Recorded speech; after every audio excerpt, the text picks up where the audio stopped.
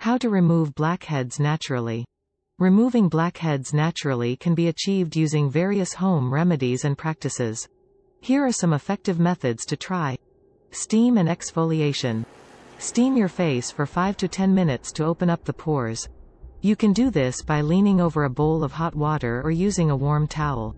After steaming, gently exfoliate the affected areas using a scrub made of natural ingredients like sugar, honey, or oatmeal.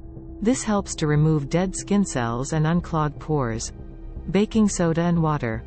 Create a paste using baking soda and water. Apply the paste to the blackhead-prone areas and gently massage in circular motions for a few minutes. Rinse thoroughly with warm water. Honey and cinnamon strips.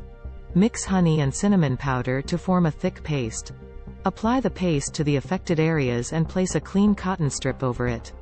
After 5 to 10 minutes, remove the strip, and rinse your face with warm water. Egg white mask.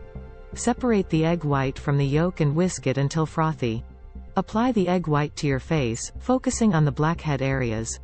Place small pieces of tissue on top of the egg white and press gently. Allow it to dry, then carefully peel off the tissue strips. Green tea extract. Mix green tea leaves with water to form a paste. Apply the paste to your face and let it sit for about 15 minutes. Gently scrub the mixture off your face, which can help remove blackheads and reduce pore size. Tomato and lemon juice.